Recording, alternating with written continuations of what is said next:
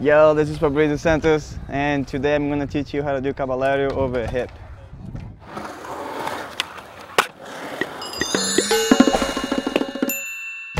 Alright, pretty much like to do the Caballero, you start with the half cabs. You know what I mean? Like pretty much you're going fakie and you do half the Caballero.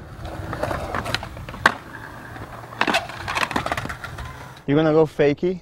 I'm regular footed, so I'm going fakie. And when you pop it, you put your position right here. The name, your foot, like it's gonna be right here and right here, right? So when you pop it, your foot, front foot, set up exactly for you to go back in.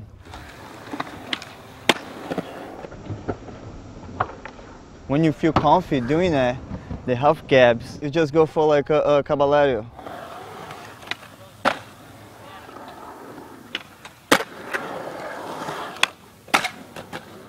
Pretty much like you pop it and you turn a little bit more. So when you turn a little bit more, you your front foot straight up, pushing that way, and then back foot you bring you bring it back.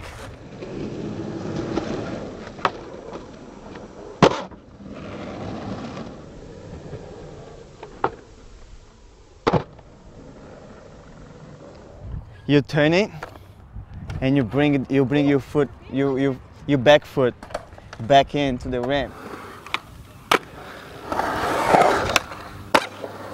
It's kind of like backside 180. Half cab first and the backside 180, you know, over the hip.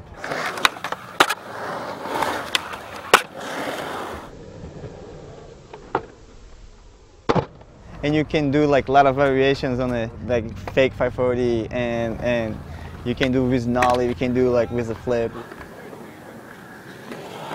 So use imagination. So when you get confident in Caballero, sky's the limit and you can do anything.